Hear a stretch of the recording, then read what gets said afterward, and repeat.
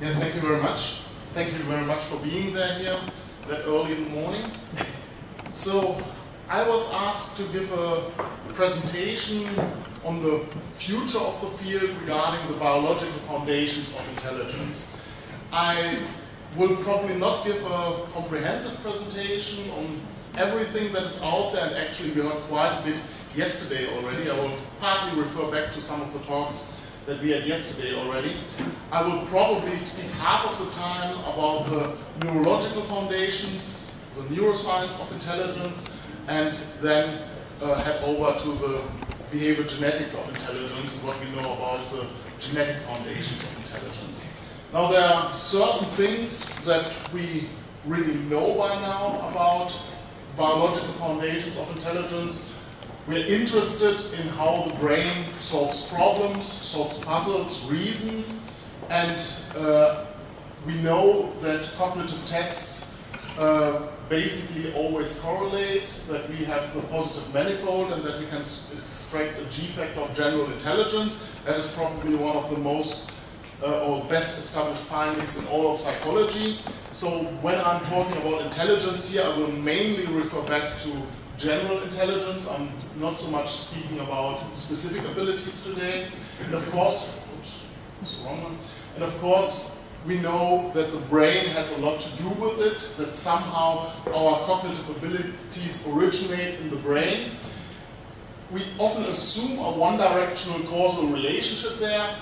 We know that it is possible that there's a little bit uh, relationship in the opposite direction as well, in terms of, for example, that experiences shape neuronal plasticity. And there are some good examples, for example, the classical uh, London taxi driver drivers that have bigger hippocampuses due to their uh, spatial navigation experiences.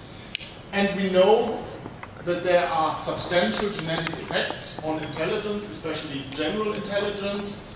Of course, there are also genetic effects on the brain, both of them really on the high end of the scale, though I usually I'm not that interested in uh, interpreting differences in heritability coefficients simply because they are always also environmentally dependent.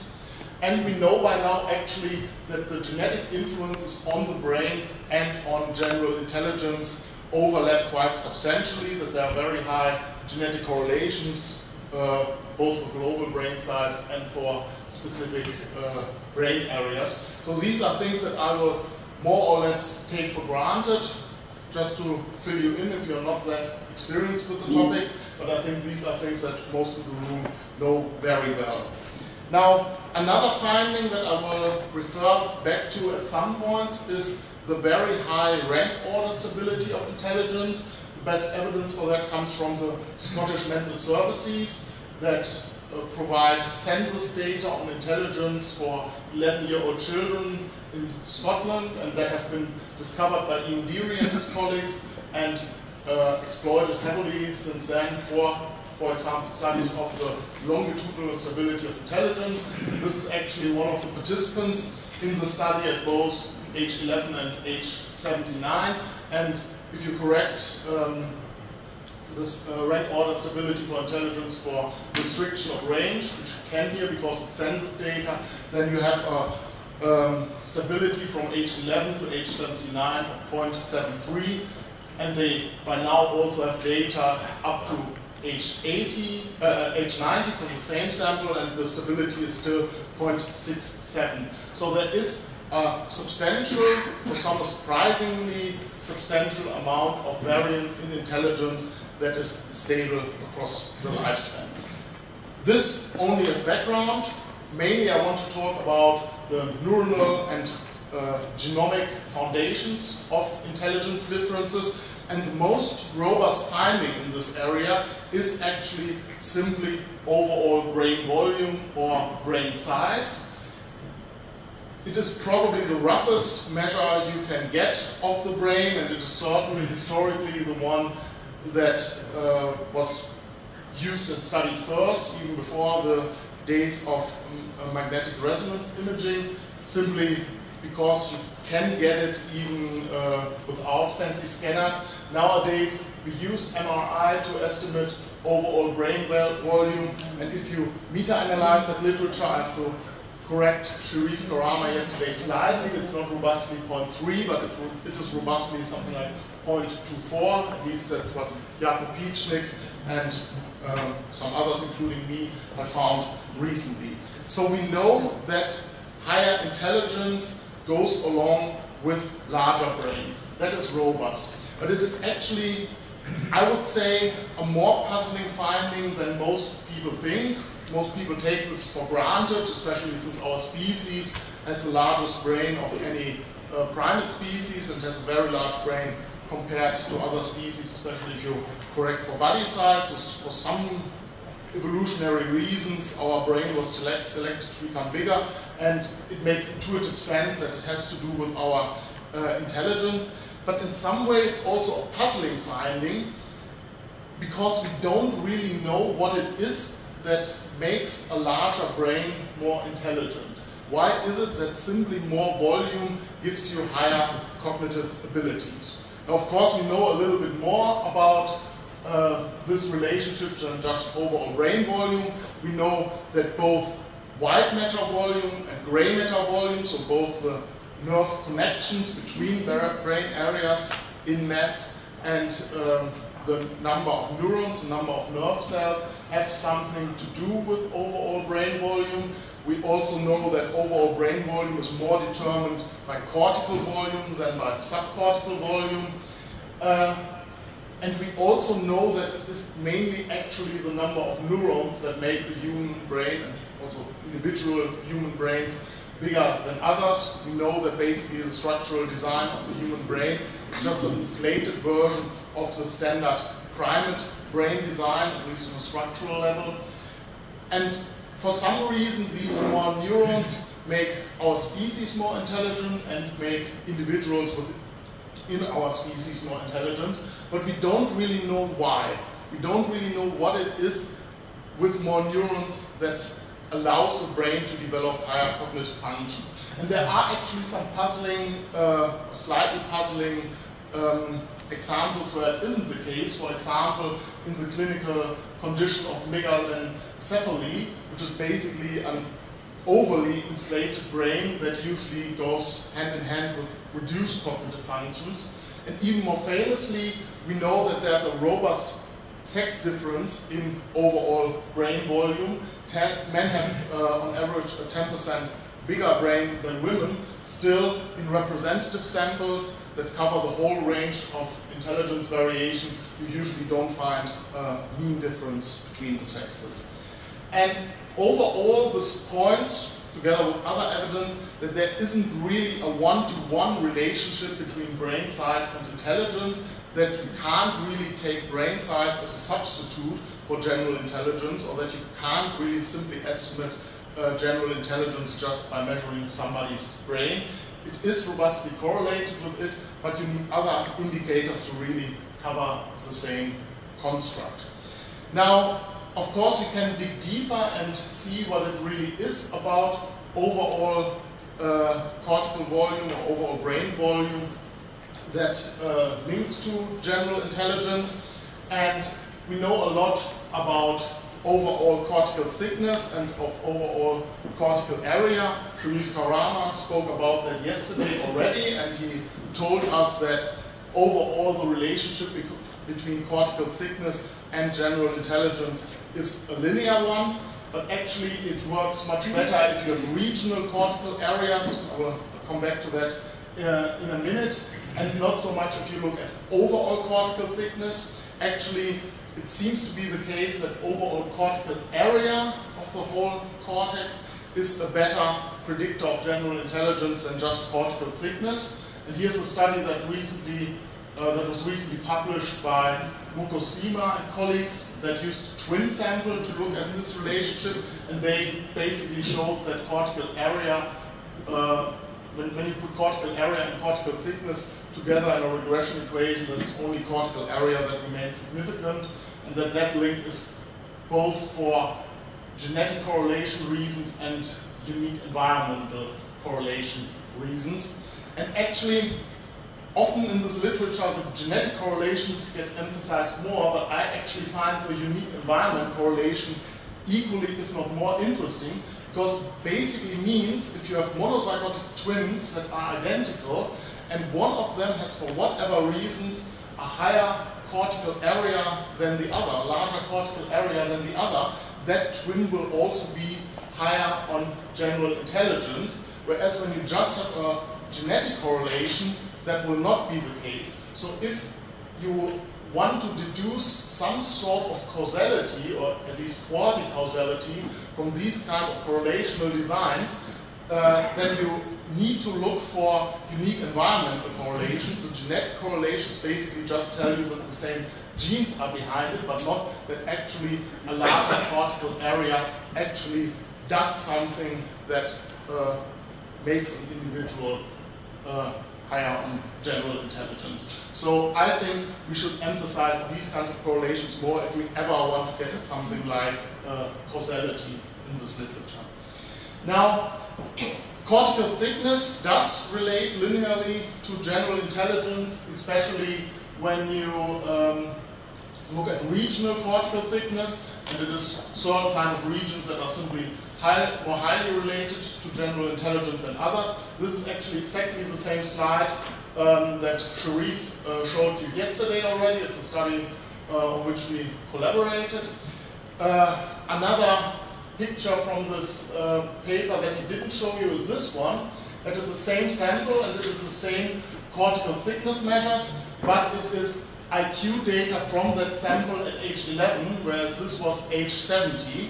So that basically means, as you see here, that more or less the same cortical thickness correlates here when you take brain scans from age 70 and IQ measures from either age 70 or age 11. So childhood IQ already correlates with the cortical thickness of participants uh, almost 60 years later.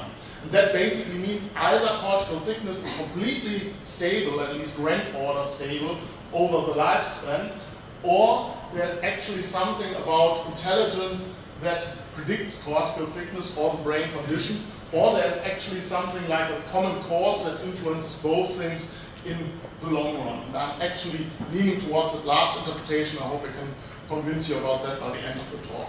Now, actually, to uh, bring the story home, if you control age 70 IQ for age 11 IQ and look at the correlates with cortical thickness, everything disappears. So it is really that we are tapping into the same thing here.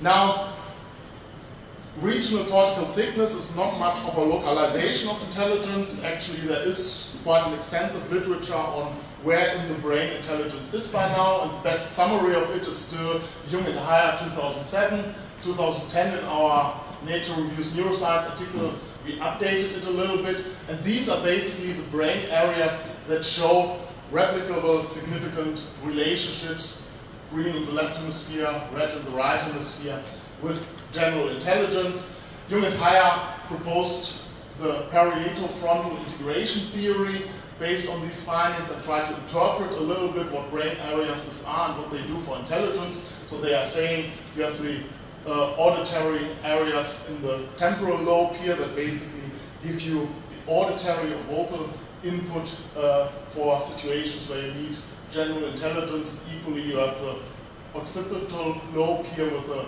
visual areas that basically give you the visual input. Those pieces of information get integrated, elaborated, and used for abstract thinking in the parietal lobe in these areas, and then you have all the frontal areas that are uh, probably the most classic correlates of cognitive function that relate to comparisons of response alternatives and to uh, response engagement, so basically working memory functions. And and Haier says all of this has to work together, has to be orchestrated, and for that you need connections between these brain areas that allow information to travel and to get integrated, and that is basically what the white matter, um, the long association fibers, um, allow our brain to do. So the most fundamental message of the PFIT theory is that intelligence is not in one single or a few single areas in the brain, but is basically um, supported by a neuronal network and that you need large parts of the brain working in orchestration for general cognitive function. I'm sure you probably know this theory by now. I think this is the best idea that we have about the neuronal foundations of intelligence, and it actually gets more and more support, uh, most recently by a meta-analysis analysis of Ulrike Basten, who's also here, and who will actually speak uh, right after me. And uh, she and her colleagues showed that uh, the PFIT theory holds very well up if you do a quantitative meta-analysis of both the structural and the neurofunctional correlates uh, of intelligence. She also found some other brain regions that were not in the initial uh, Jung Haier analysis, especially some parts of the midbrain. Uh, but by far and large, the PFIT model is very well supported by this meta-analysis. Some of the best evidence that supports my opinion is a study by Gläscher and colleagues that was already published in 2010. They used patients that had some sorts of lesions in their brain, so basically damages or little holes in their brain for very different reasons. And they found a total of 241 patients who had different lesions in the brain and who also have been extensively tested with a Wechsler cognitive battery. And um, they used a technique called lesion mapping where they basically aggregated all of these results and looked what overall pattern there is when do lesions in certain area basically decrease general intelligence or IQ in this uh, case um, uh, more and when do they have a less severe impact. And by far and large, they interpret their results also as support for the PFIT theory, so it was mainly uh, lesions in frontal and parietal areas that were proposed by this model already that reduced general intelligence more when damaged.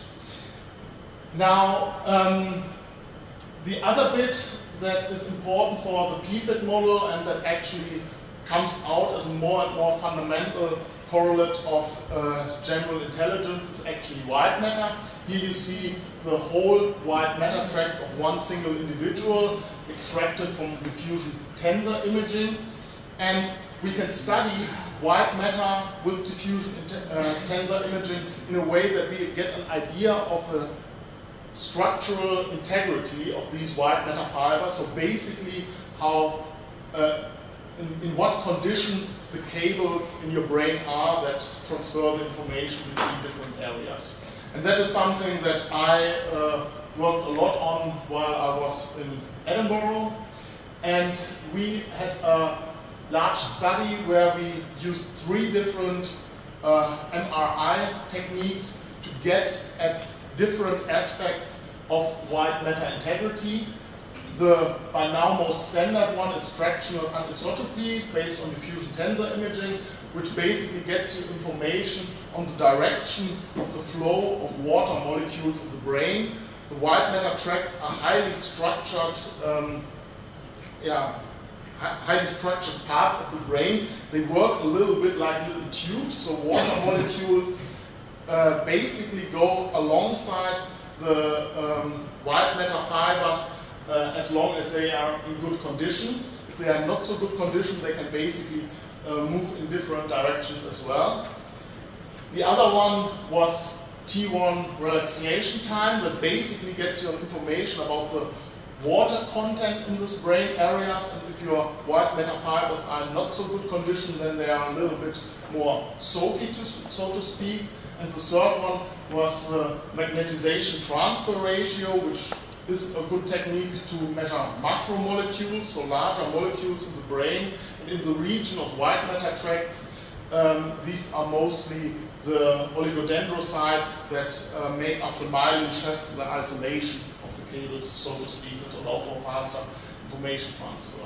We used a technique called uh, probabilistic neighborhood tractography to get this information alongside 12 white matter tracts.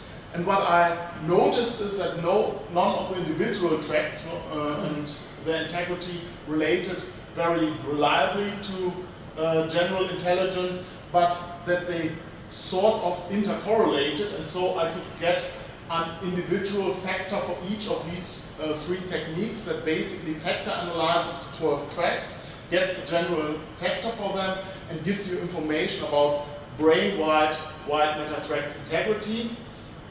And these three different uh, tracts uh, measured by different, uh, so brain-wide uh, white matter integrity indicators measured by different techniques intercorrelate only slightly, but they independently predict general intelligence. All of these coefficients are significant, and together they explain 10% of variation in general intelligence in a pretty large sample. And we actually also had measures of information processing speed. These were two measures of reaction time and one of inspection time that also formed a nice information processing speed factor. And we actually found that this information processing speed factor was even more strongly related to these three factors of overall brain white matter integrity and actually that information processing speed more, more or less fully mediated this relationship.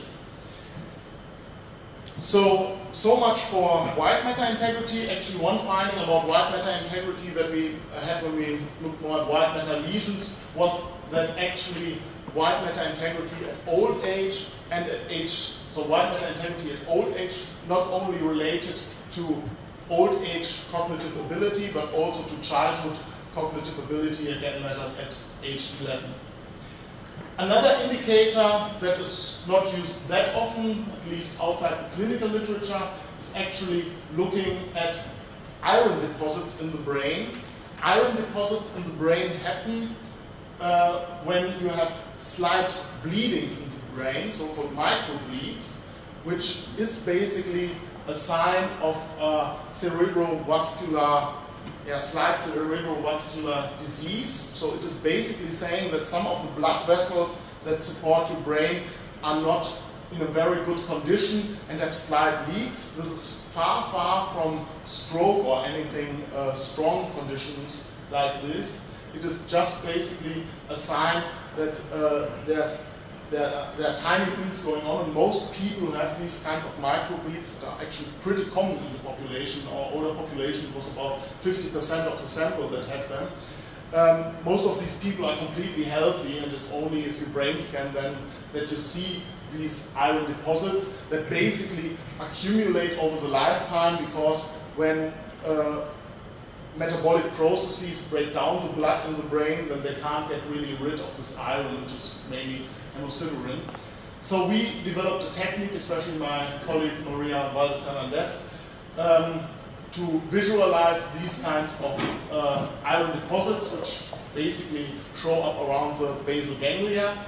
And what we showed is that um, the overall amount of uh, iron deposits in the brain related to both general intelligence and to IQ in old age, but it also related significantly to IQ in young age, and that is actually again a surprising relationship because these iron deposits have to build up over the lifetime. It is very unlikely that they were there in childhood already. Of course, we don't have childhood brain scans from these people because at that time MRI wasn't developed yet.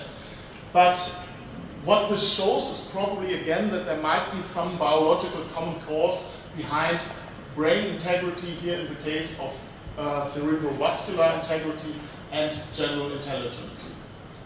And actually if you control for age 11 IQ, you get a bit of a remainder relationship, so there is an aging effect, an aging process going on here as well, but still there is some stability of this effect over the lifespan.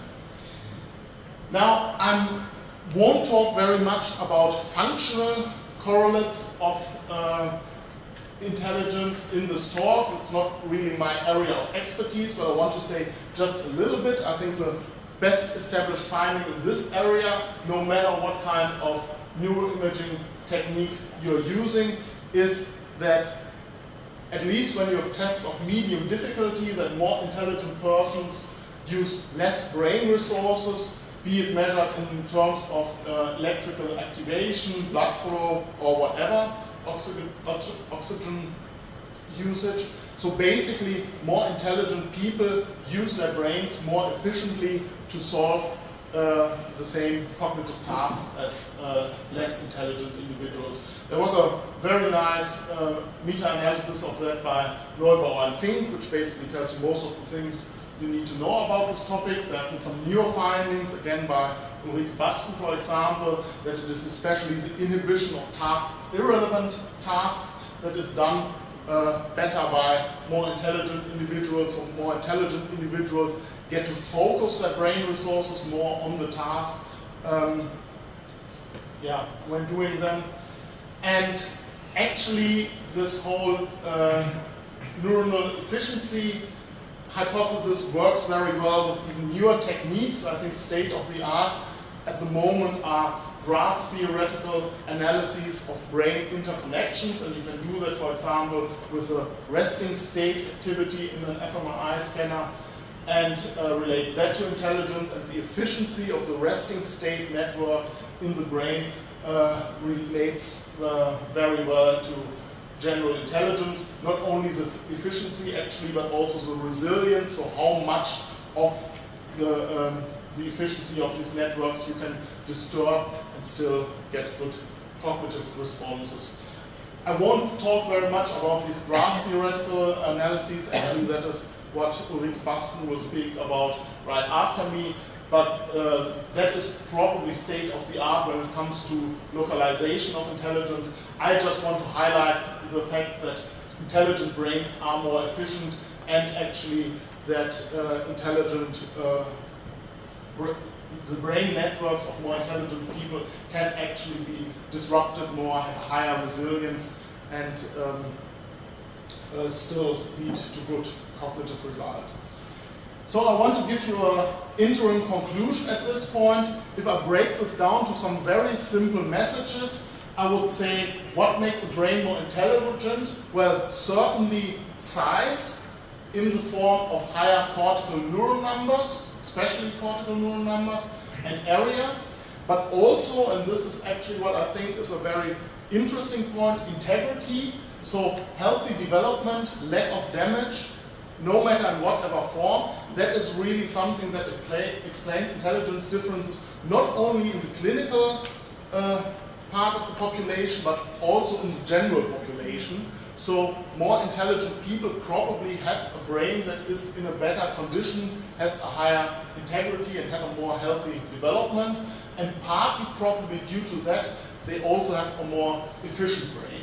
And that all, if we want to localize it more, is actually stronger in the parieto-frontal networks, as correctly uh, predicted by Jung and Haier. That is a very stable finding by now, but it is basically size, integrity, and efficiency of this PFIT network that localizes intelligence in the brain.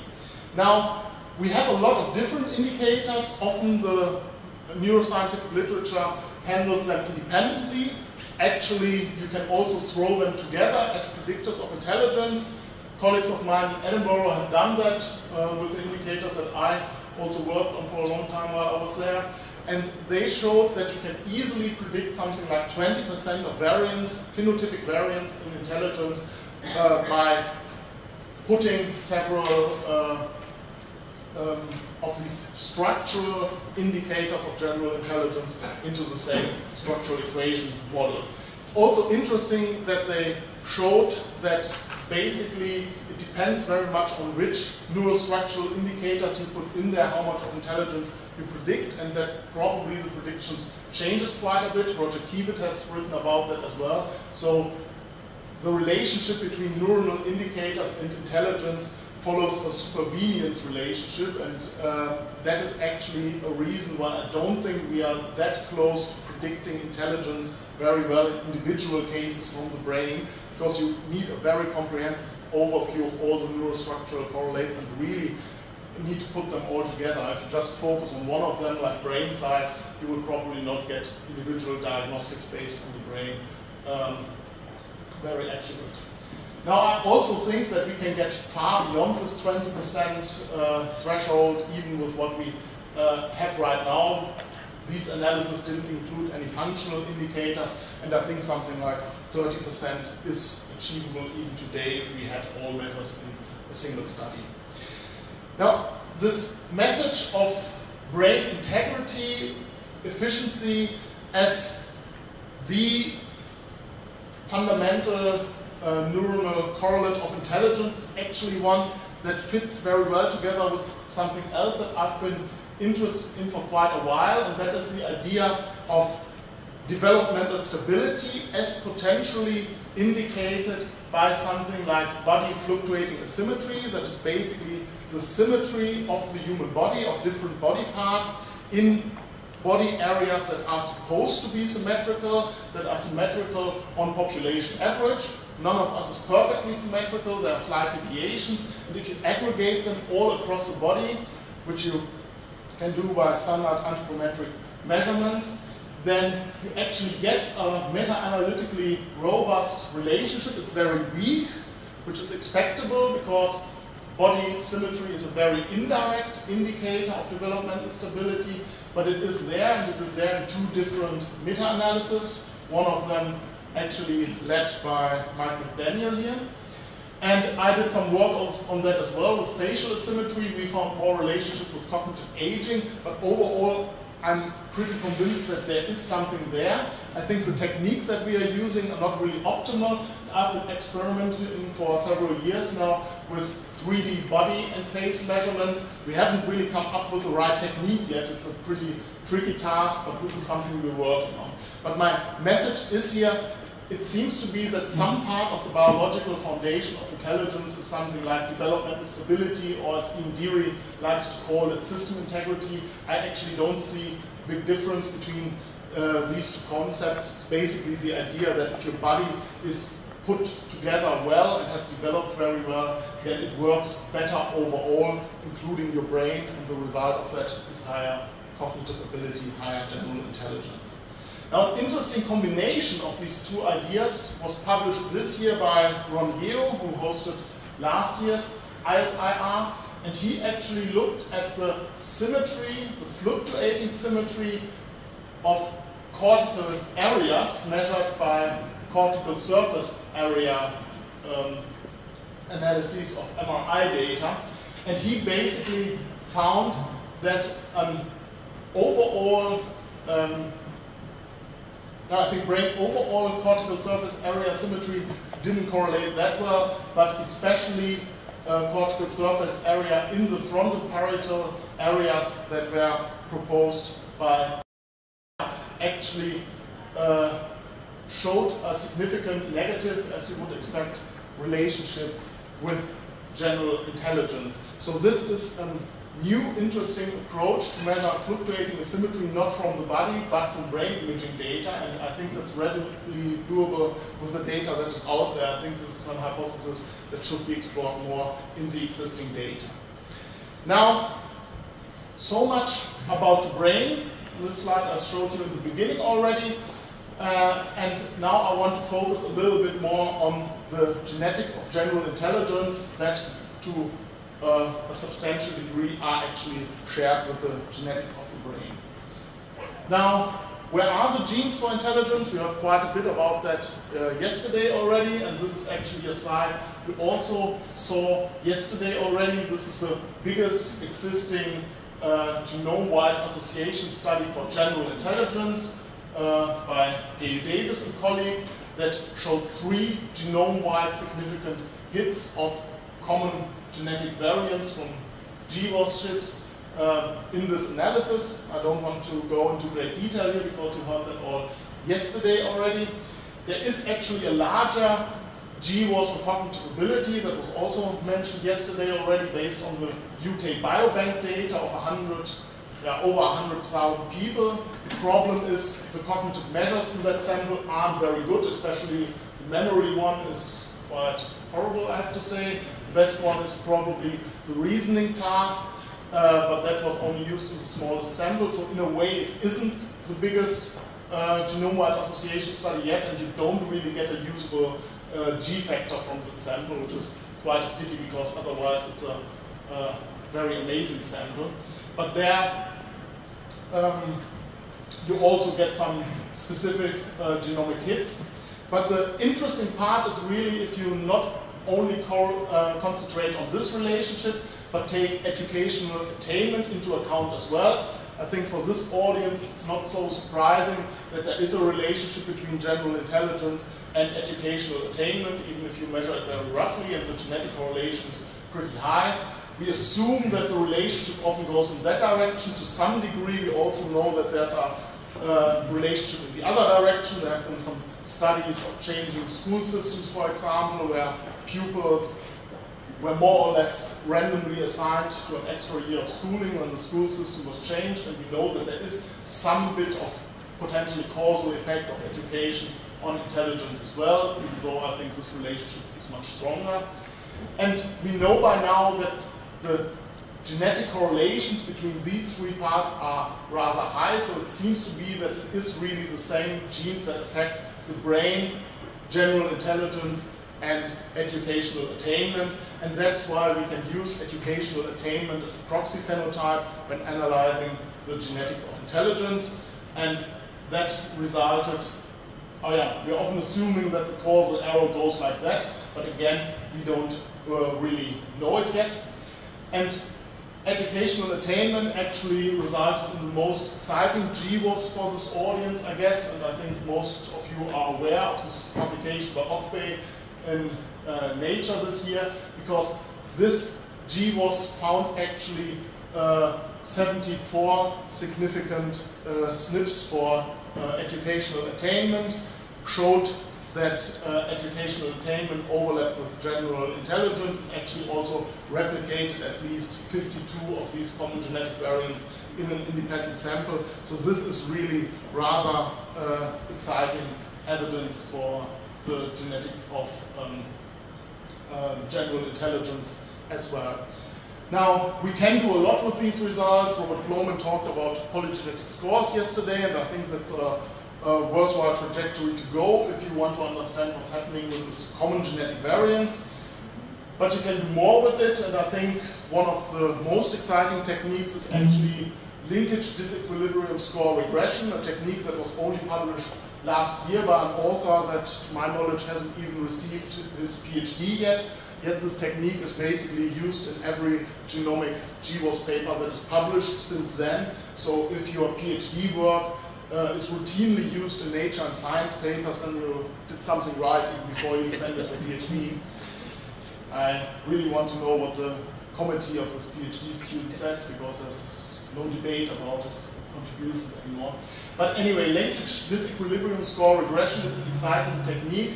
Hill talked about it a little bit uh, yesterday already, that allows you to estimate genetic correlations purely based on GWAS data, on purely DNA information, and as you can see here, the educational attainment GWAS showed that educational attainment is substantially correlated on a genetic level with intracranial volume, which is basically overall brain volume, and also with cognitive performance, and these were actually the two largest, maybe aside from, I don't know, where the two largest uh, genetic correlations in the sample, so that's basically underlying, uh, uh, underlining what I just told you. Now, this is a slide that David Hill showed you yesterday already. I will only briefly repeat what he found in what he presented yesterday, actually a study that I was a little bit involved in. And he basically used the common genetic variants uh, in GWAS to look how those that show associations with uh, general intelligence in the Schramm sample are related to different uh, gene functions as you can extract from gene data banks that have these annotations what these genes actually do and you can group them by different functions or different yeah, annotations basically. And the very interesting and I think this is a rather revolutionary finding I have to say in the sample is that a large part of what common genetic variants in GWAS explain in general intelligence is not uh, somewhere randomly in the genome, but it is especially strongly in genomic regions that have been the same across species for a very long time. So these are genomic regions that are not only supposed to be the same for all of us, but that are the same for a lot of our ancestors and a lot of our uh, species that we are phylogenetically related with, which basically means that natural selection is working hard to keep these genomic areas just as they are, probably because they underlie very fundamental biological functions. And so this basically means um, these are regions of the genome that naturally selection doesn't want to vary. So 40% of the common genetic variants that we can find, know, 40% of the uh, heritability of general intelligence is explained by only 2.6% of the SNPs and GWAS that are in these evolutionary conserved regions. So I think this is a very strong message and I think we will hear more of that in the future.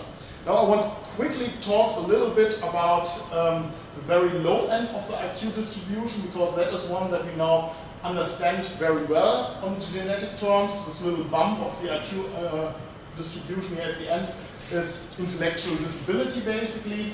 And we now know a lot of individual genetic variants that explain a large part of all cases of intellectual disability. And this is a graph from a Nature Reviews genetics paper that showed how our knowledge increased over time, over the last few years, and we now can actually completely explain 70% of the cases of mental retardation, of severe decreases of general intelligence, basically, by uh, about 700 genetic variants that are mostly extremely rare. So these are often uh, genetic variants that only account for a few cases worldwide. But with these rare mutations, rare genetic variants that don't stay in the gene pool very long, you can actually conclusively explain 70% of the cases of the very low end of the IQ distribution. Now the interesting question then is, do these 700 uh, genes tell us anything about the normal distribution? So you can look at common genetic variants in these uh, 700 uh, genes that are known to relate to uh, mental retardation. It's actually also something that David Hill here has done, and he basically found no relationship, so it isn't the case that common genetic variation in mental retardation genes explains much uh, of uh, general intelligence. So this basically gives us an interesting theoretical question. So we know there are no single genes of large effects, neither um, or at least not that are common in the population. We know of large effect genes that are extremely rare and explain the very low end of the IQ distribution. And we use this now pretty well-known technique of genome-wide complex traits analysis based on grammar uh, statistics that about 25% of the phenotypic variation in general intelligence can be explained by the SNPs and GWAS. First estimates were much higher, but I think this is the most realistic number now. Maybe it's 30%, but not much more than that. So about half of the heritability that we know from twin and family and adoption studies uh, for general intelligence isn't explained by these common genetic variants.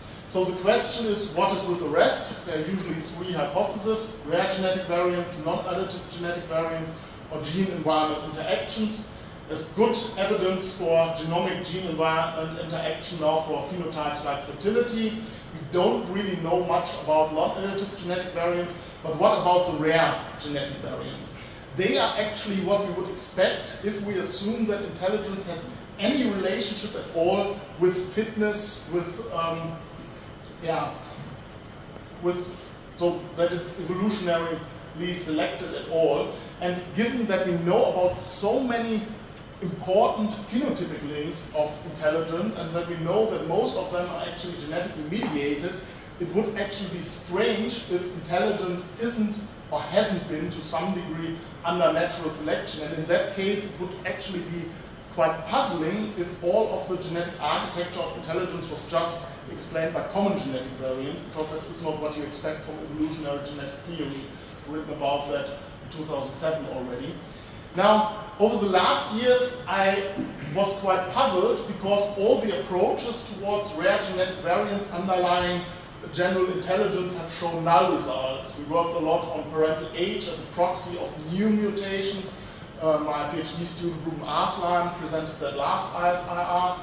There were studies looking at rare copy number variants overall in the genome, and I was involved in a study that looked at rare exomic variants and the overall burden. And none of these studies basically found anything, any relationships. So in the last few publications I wrote on this topic, I actually thought maybe uh, the genetic foundations of general intelligence in the broad population is actually not so much affected by rare mutations, probably because it's pretty well buffered, but that actually still throws up some puzzles about how much normal variation of intelligence can actually be under natural selection, and it would predict a lot of non-additive genetic variants, which we sometimes find, but not to that degree.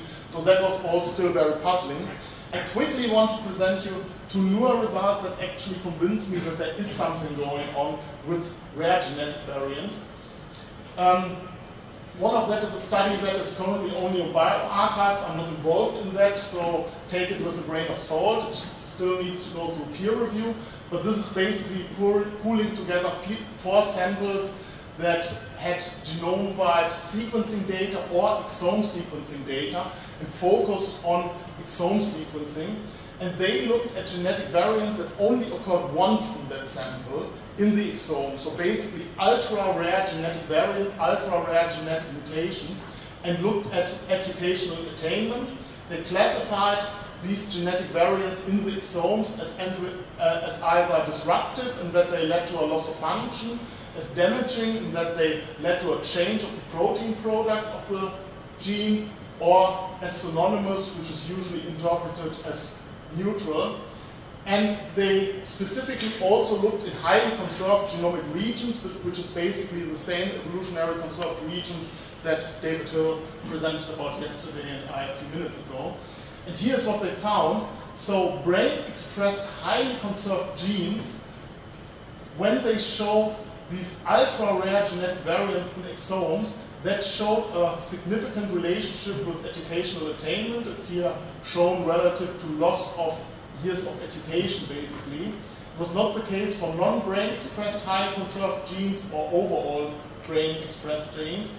Similar pattern for damaging, a little bit lower because disruptive is worse than damaging, and no results for synonymous. So that is actually a very interesting finding. It's the first convincing study of rare genetic variants uh, that I've seen, and I think with the advances in genome-wide sequencing, we will see more studies of this kind. And they actually compared the effect size of these disruptive and damaging ultra-rare exomic genetic mutations compared to the polygenic risk score that we now have from these large GWAS studies and to runs of homozygosity, which get you an idea of genomic inbreeding and pathogenic copy number variants. And the effect is there, and I think we can get it higher with better studies in that area. Sample sizes are pretty low so far. So I think there is something going on which we will hear much more about. So there is potentially much room for um, rare uh, genetic variant involvement in the genetics of general intelligence. So to quantify how much that is, I will finally present you a last study. This is based on the Generation Scotland sample, which is a very uh, unique sample in that it is a large sample of pedigrees. It's 20,000 people nested in families, so these are whole extended family networks. But this uh, sample has also been GWAS, so for all of these participants, GWAS data is available.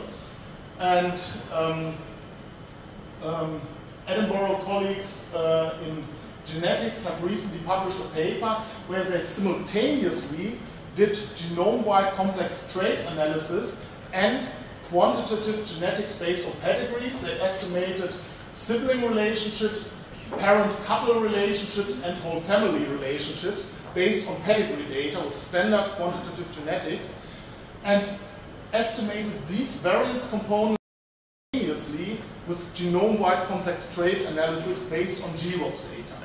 And the one thing that this allows is actually that on top of these relationship-based quantitative genetic components and the standard uh, GCTA analysis, you can actually use all the individuals, even the closely related ones, for genomic comparisons based on the SNPs, so just based on DNA data. That is usually not done because you are afraid that uh, common environmental effects or any other kinds of family effects basically spoil your uh, GCTA results, but if you can control for these other variance components because you can estimate them directly, you can actually get this pedigree-based uh, genomic heritability uh, here as well because all the environmental information should go into these variance components. So this is a very interesting technique that not many samples are suited to estimate, but Generation Scotland can do it. And David Hill here did it for general intelligence in the sample. There's a pretty good G factor. There are several cognitive tests that show a pretty nice G factor. And this finding I find very exciting. So with these five variance components, you can actually explain 90% of the phenotypic variance in general intelligence and a good G factor in the sample. There is some couple variance here, which is probably related to assortative mating. There's some sibling similarity, which is probably related to some sort of family environmental effects. This here is your standard GCTA heritability estimates. It's 25%, as we expect from other much larger GWAS studies. And this here is pedigree-related genetic heritability that is not captured by your classical GCTA analysis because it's genetic variants that are only shared by members within a family. So these can be rare genetic variants, rare mutations, these can be copy number variants, these can also be structural variants, but it's all the rare stuff that we usually miss when we do standard GWAS analysis. And this is about 25% of the phenotypic variance, this is about 30% of the phenotypic variance. And together they explain basically all of the genetic variants that we know from twin and family and adoption studies. So I won't talk about this any uh, much more, but for personality, the picture looks very, very strange, and that is something that's puzzling me as well, but I don't really have time to go into that. So finally, my conclusion slide. I also told you brain-wise, it looks like bigger brains, more neurons, higher integrity, healthy development, lack of damage, and higher efficiency in parietal frontal networks is what underlies a more intelligent brain. And then we know that thousands of common genetic variants influence the brain, but simultaneously they are also involved in psychopathologies, education, and so on. And most of these genetic variants, a large part of the heritability uh, estimated by common genetic variants is actually in highly conserved uh, genetic regions. And the same seems to be true for rare genetic variants, even though we have much less knowledge about it. But probably more of the heritability is actually in pedigree-specific uh, genetic variants and not so much in the standard GWAS genetic variants that we find. And that is very much in line what we would expect from an evolutionary genetic perspective if intelligence matters at all for something like fitness or natural selection. So overall, the basically points to more heritability probably being maintained by mutation selection balance uh, than what we usually find in GWAS studies. So to give you an overall message for my whole talk today, I think that much of the biological foundations of intelligence actually look like something like developmental stability or system integrity, which actually points us in the direction that it's more a biological foundation of stupidity. So basically everything that makes an organism yeah, not so well developing, affected by things or a little bit damaged, basically reduces general intelligence. We should actually see the biological foundations uh, from this side, and that's why we also know more about decreases in intelligence and not so much, for example, about giftedness or very high intelligence. And maybe there's a little bit going on there as well, but overall I think this perspective of intelligence as differences in system integrity, development stability, or overall condition is actually a very promising one. And with that, I thank you very much for your attention.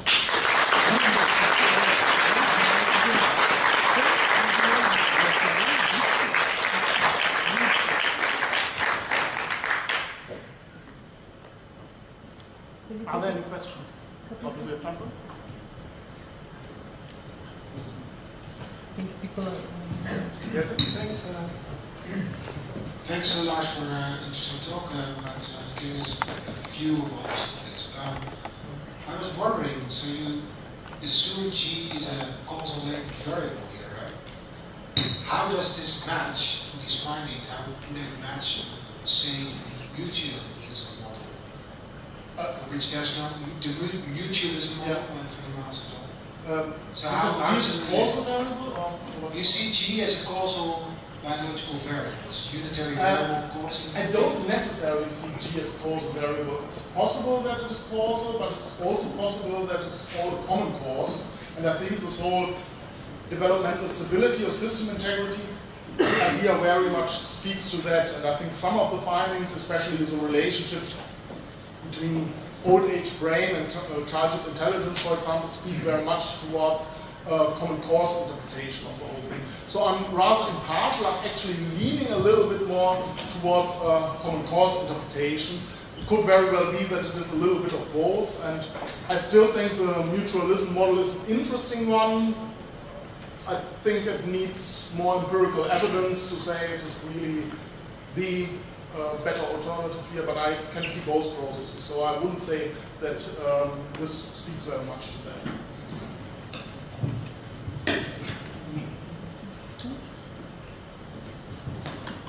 Okay. Well, thank you very much, Lars. Okay.